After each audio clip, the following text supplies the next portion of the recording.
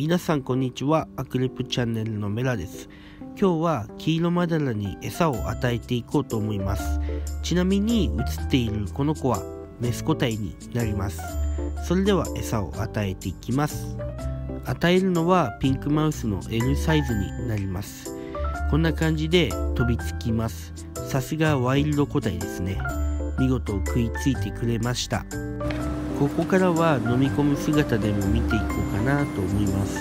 まあこんな感じにゆっくりゆっくり食べていってますね。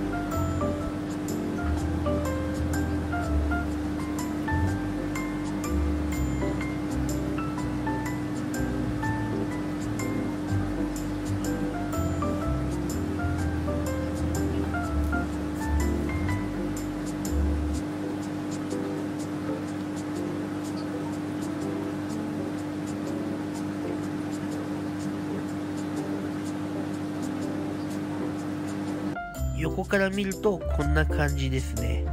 うちに来てすぐピンクを食べてくれたのでまあ心配するようなことは一つ減りました。まあ何点か心配するようなことはあるんですけどとりあえずは OK ですね。まあこのまままた観察していきたいと思います。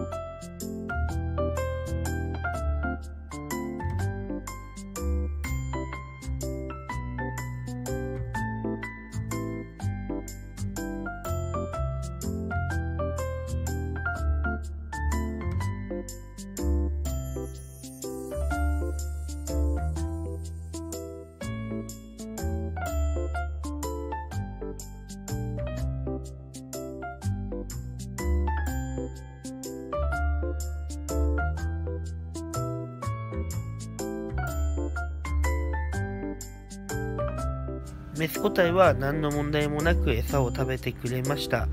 この子がもうほとんど餌を食べ終わったので次はオス個体に餌を与えていきます。この子オス個体になるんですけど目が白くなり体が白っぽくなっております。